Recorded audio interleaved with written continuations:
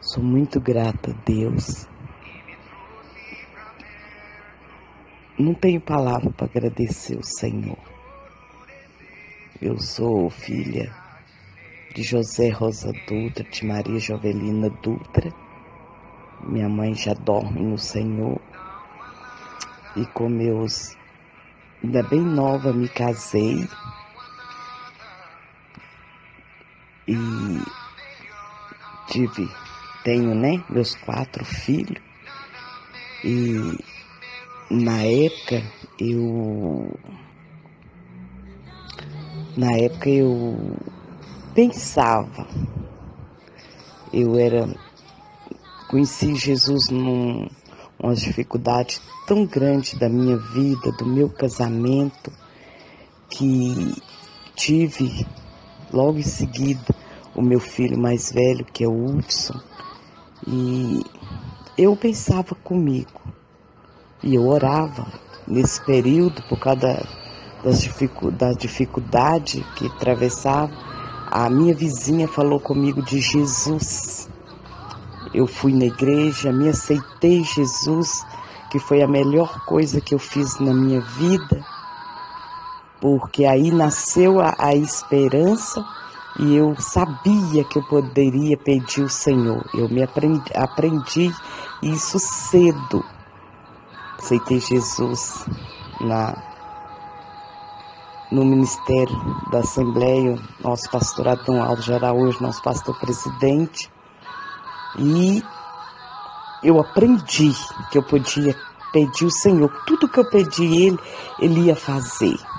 E eu comecei ainda o Hudson bem novo e eu veio no meu coração que eu não ia ver o meu filho chegar aos 10 anos, porque de tão enferma que eu era, eu fui desenganada pelo doutor Caio e eu não ia olhando o olho humano, mas como Deus ele é soberano, eu não tenho palavra para agradecer o meu Deus. E o meu filho já está com seus 40. Louvado seja o nome de Jesus. E